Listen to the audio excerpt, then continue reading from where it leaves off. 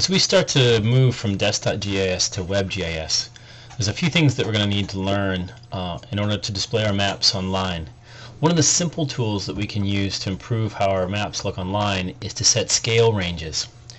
So for the most part in ArcMap, when we're working on the desktop, we haven't worried too much about uh, scales and visibility.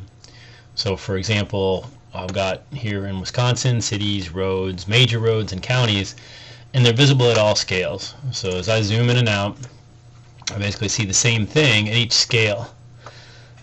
when you use maps online, let's say Google Maps or Esri's Base Maps, you realize that they've got different layers that you only see uh, at certain scales. As you zoom in, you see more detail, and minor features show up as you get uh, at larger and larger scales. We want to kind of replicate the same thing in ArcMap, so when we publish our map online, um, we'll get the same kind of effect. So if I look, let's say, at all the data that I have here, I get kind of a mess at that scale. I don't want to show all that. So we're going to set some scale ranges, uh, and we're also going to see how we can switch our scale, our visible scales, to something that matches what we'll find online. So first, let's um, change the set of scales that ArcMap uses. If I go up to this map scale box, I'll look at the defaults that come with ArcMap. So these, I can switch between these different scales, and for the most part, we usually don't need to do that when we're uh, um, working in ArcMap on the desktop.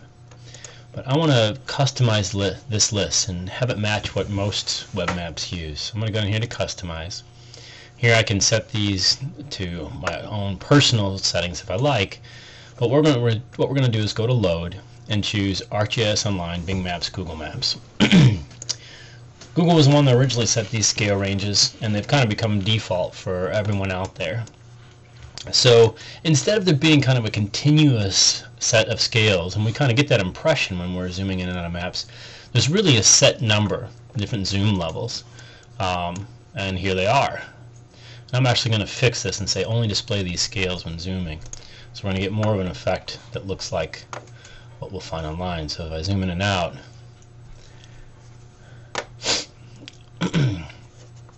I'm going to get the same scales.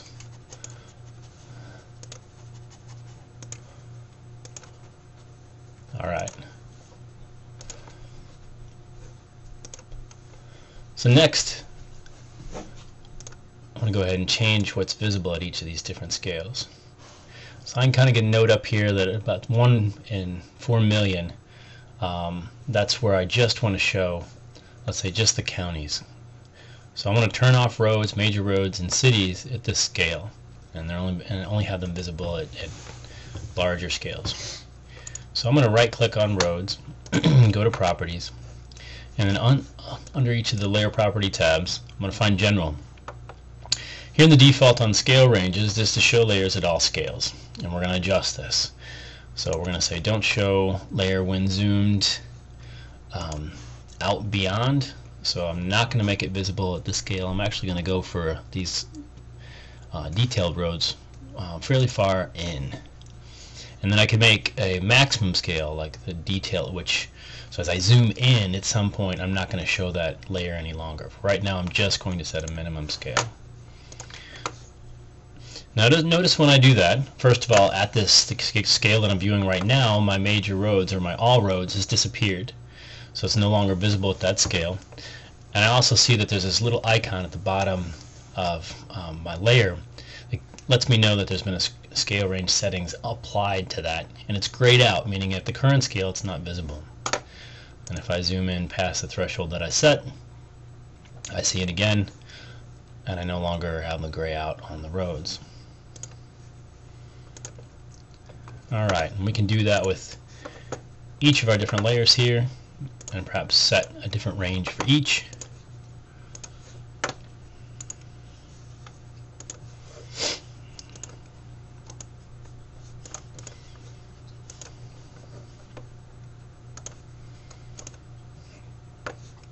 And now, in my initial view of Wisconsin, I just see counties. And as I zoom in,